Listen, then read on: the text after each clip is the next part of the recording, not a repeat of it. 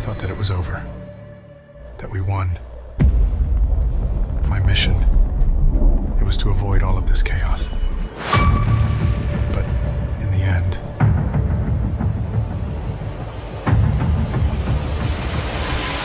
I was just following the path I was meant to follow. What is your last memory before this mess started? I found myself. I found something I could fight for.